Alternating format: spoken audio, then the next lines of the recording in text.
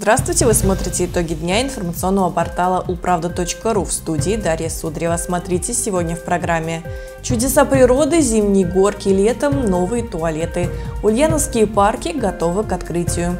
Работа на любой вкус. В Ульяновске прошел единый день профориентации. От пожаров до катастроф ульяновские спасатели отметили 370-летие пожарной охраны. Цена растет, стоимость проездных в электротранспорте подорожает с 1 мая.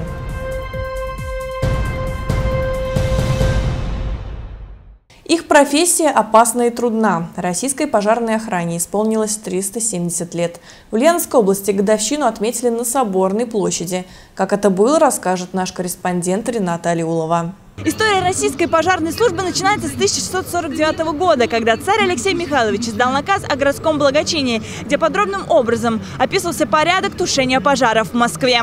Первые профессиональные пожарно-спасательные службы появились при Петре Первом. Тогда император дал поручение беречь от огня богатства государства российского. Приказ действует до сих пор. 30 апреля 2019 года исполнилось 370 лет пожарной охране России. С размахом юбилей отметили на Соборной площади в Ульяновске. С профессиональным праздником пожарных поздравили представители духовенства.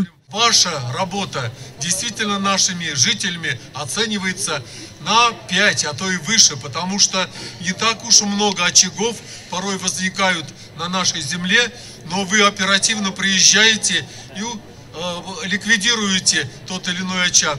И сколько благодарности, наверное, мы получаем от жителей, которые у которых вы спасли не только жилище, но спасли и жизнь. Праздничное событие открыл торжественный парад личного состава Ульяновского пожарно-спасательного гарнизона.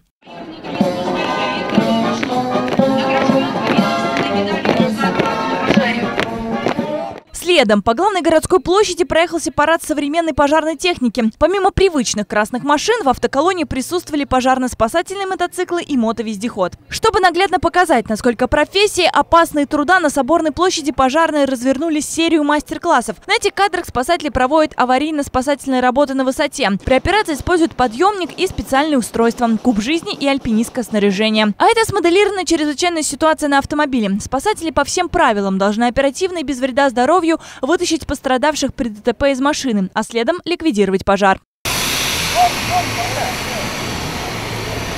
Владимир Немухов – полковник в отставке, но, несмотря на это, продолжает служить делу всей жизни. 60-летний мужчина возглавляет 16-ю пожарную часть в Ульяновске. Встать в один ряд со спасателями решил еще в детстве. Владимир Васильевич признается, что за все 40 лет работы труднее всего всегда давались операции в подвалах и замкнутых помещениях. По мнению ветерана профессии, пожарными не рождаются, ими становятся. Ну а в их семье желание быть пожарным передалось по наследству. Оба сына Владимира пошли по стопам отца профессии должны быть всегда сильные, выносливые и с, как говорится, моральными качествами. Потому что на пожарах можно увидеть очень страшно и больно, но человек должен справляться с эмоциями и выполнять свой долг. Параллельно на эспланаде для жителей и гостей города работали тематические площадки, где каждый желающий мог еще лучше познакомиться с профессией виновницей торжества. Рената Алиулова, Александр Кудряшов. Новости Ульяновской правды. В Ульяновске подорожают проездные в трамваях и троллейбусах. Решение об увеличении стоимости проездных на электротранспорте было принято 28 марта и зафиксировано в постановлении городской администрации об установлении тарифов на услуги. Так, с 1 мая льготные карты для школьников, учащихся ПТУ и лицеев, будет стоить 400 рублей. Студентам дневной формы обучения и учащимся СУЗов придется выложить за проездной 600 рублей. Стандартная транспортная карта за месяц ульяновцам обойдется в 1000 рублей, а на полмесяца 500 рублей. Представители 30 компаний съехались в областной дворец творчества детей и молодежи, чтобы помочь ульяновцам сделать карьеру. Что такое Workliner 73 и зачем профориентировать родителей, школьников и студентов, расскажет Виктория Черкова. Будущее начинается сегодня. Это не просто громкий лозунг, а название единого дня профориентации, состоявшегося накануне. Мероприятие организовано для тех, кто ищет работу и хочет определиться с профессией. Площадки расположились в областном дворце творчества детей и молодежи. На втором этаже выстроился Workliner 73, линия из 30 компаний, ожидающих новых сотрудников. По словам организаторов, на ярмарке вакансий возможно устроиться на работу, не имея опыта и внушительного резюме. То есть это не те работодатели, которые говорят, нужен работник 25 лет с 20-летним стажем при этом. Нет, здесь сегодня совсем другой формат работодателей. Это те, которые не боятся брать без опыта, те, кто не боятся в молодежь вкладываться. Салоны связи, IT-компании и парки экстремальных развлечений расположились на ярмарке молодых специалистов. В экспозиции были представлены гастрономические предложения. Елена Ольховская набирала новую команду в сеть ресторанов японской кухни. Нам требуются повара, нам требуются официанты, менеджеры, которые готовы, молодые люди, которые готовы развиваться вместе с нами.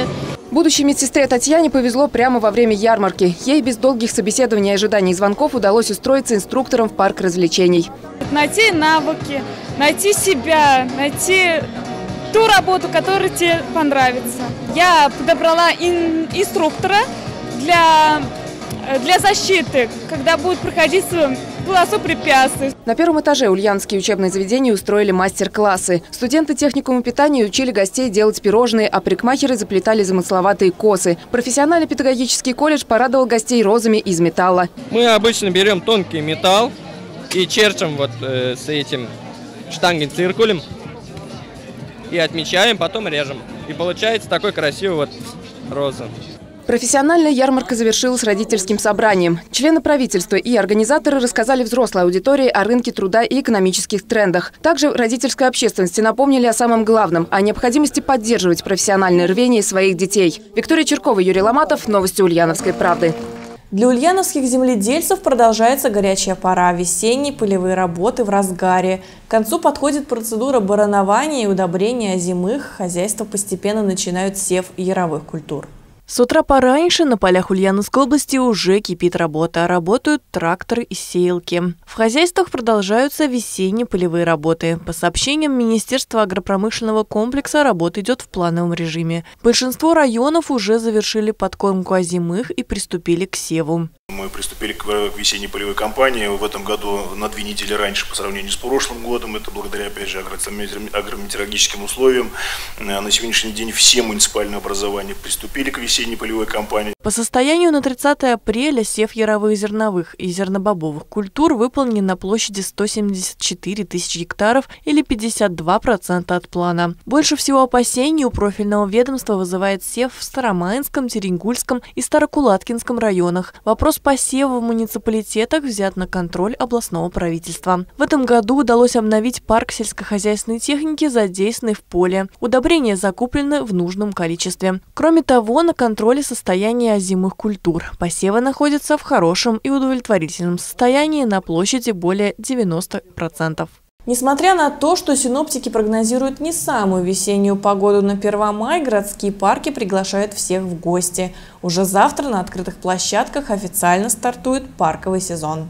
Несмотря на то, что синоптики прогнозируют не самую весеннюю погоду, на 1 мая городские парки приглашают всех жителей в гости. Уже завтра на открытых городских площадках официально стартует парковый сезон. Всего в областном центре работают 8 парков. Это Виновская роща, Молодежный, Победа, Семья, Прибрежный, 40 лет в ЛКСМ, Владимирский сад и детский парк имени Матросова. И в каждом из них запланирована обширная развлекательная программа и проведено благоустройство. В Виновской роще к новому сезону подошли основные основательно. В мае на территории парка откроются несколько новых аттракционов. Кроме каруселей, для детей обустроили горку, которая предназначается для катания на сноутюбах зимой. Горку адаптировали под теплое время года, но прокатиться можно будет на тех же плюшках. Также руководство парка готовит к открытию новую уникальную площадку «Чудеса природы».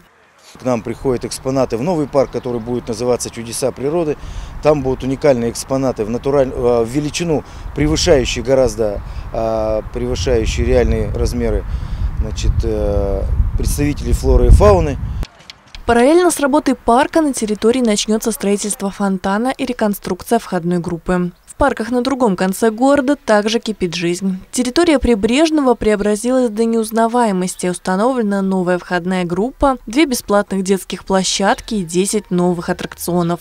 Мы сейчас э, подвели водоснабжение в парк. Э, у нас работают три новых современных туалета.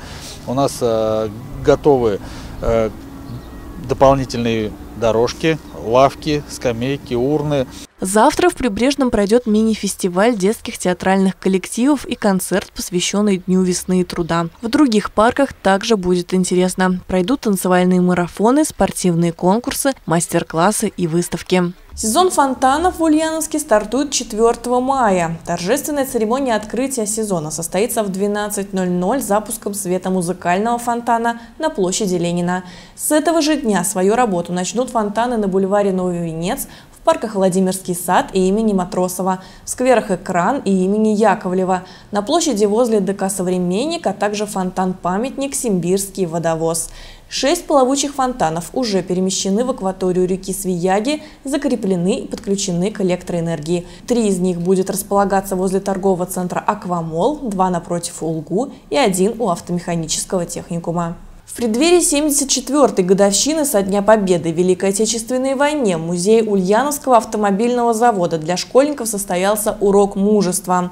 Ребята ознакомились с экспонатами, а с помощью полевой связи воссоздали атмосферу военных будней. Александр Григорьевич Гулягин 36 лет своей жизни отдал Ульяновскому автомобильному заводу. Первые годы своей жизни он провел в блокадном Ленинграде. В 1942-м потерял родителей, попал в детдом, откуда его еще несколько ребят увезли в Корсун. Годом спустя мальчика усыновили. Семь классов в школе, учеба в радиотехническом, а ныне автомеханическом техникуме, незаконченная высшая в Ленинграде смерть приемного отца, сменили службы в армии, заочным образованием и трудоустройством на УАЗ. На заводе Александр Григорьевич встретил свою любовь, с которой вместе живет вот уже уже 56 лет. Работал сначала наладчиком, потом технологом. В 1968 я закон... году закончил институт и решил поехать на стройку Волжского автомобильного завода в Тольятти. Да, три года я там проработал, строил завод, принимал первые штампованные детали. Мне посчастливилось поехать на стажировку и на учебу в Италию на «Фиат». Сегодня ветеран войны часто приходит на родной завод, заходит в любимую библиотеку, рассказывает о годах на предприятии и делится личными историями с молодым поколением. Когда я встречаюсь с ребятами, с ребятами, не с девчатами, а с ребятами, я всем ребятам советую обязательно послужить в армии. Обязательно.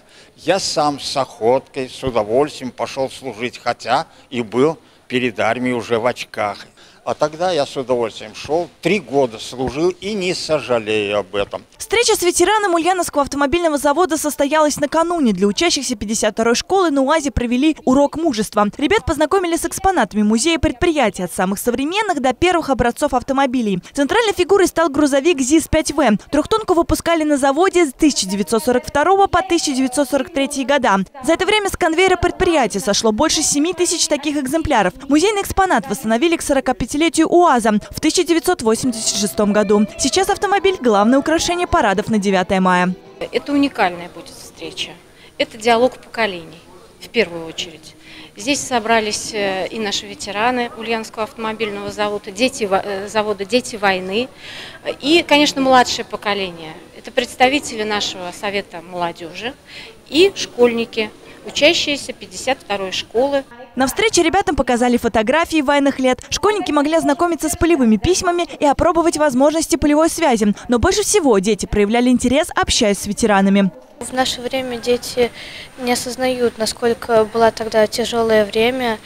И я думаю, то, что надо пораньше, ну, побольше встречаться с ветеранами, чтобы узнать, какое было тогда время, что происходило и насколько страшно была Отечественная, Великая Отечественная война.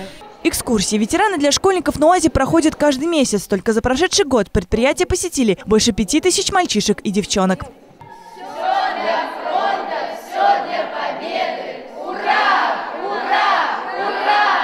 Рената Алюлова, Александр Кудряшов. Новости Ульяновской правды. Это все новости на сегодня. Информационная служба Улправда ТВ поздравляет ульяновцев с Днем весны и труда. Хороших выходных!